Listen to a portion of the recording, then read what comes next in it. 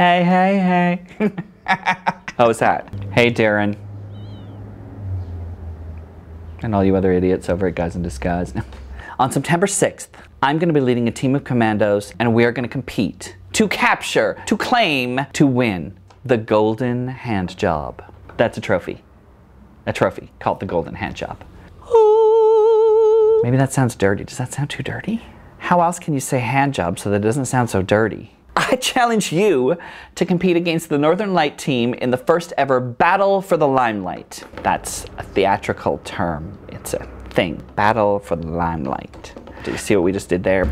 With the help of a lot of sponsors and local businesses, NLT is hosting a community-based fundraising event, very similar but not infringing on the trademark of the Amazing Race Challenge. And I want you to put together a team and compete for the title. Fun, fun, fun. I know what you're thinking. What do I need to do? I would think the same thing. Number one, register a team. Teams can be up to four players. Do you have four friends? do you have three friends? Number two, collect donations and pledges for your theater company. I know, that sounds crazy, doesn't it? But you get to keep all your donations and collections for the company of your choice. That kind of sells itself.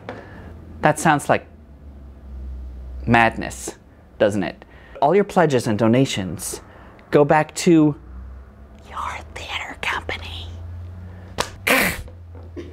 Win-win. Number three, show up on Saturday, September 6th at the Queen Alexandra Community Hall where my team and your team and all the other teams will be given their first clue in the Amazing Race Style Challenge. Kick off the theater season right. Come race against me and the rest of the theater community on a quest for the golden hand job. Ooh.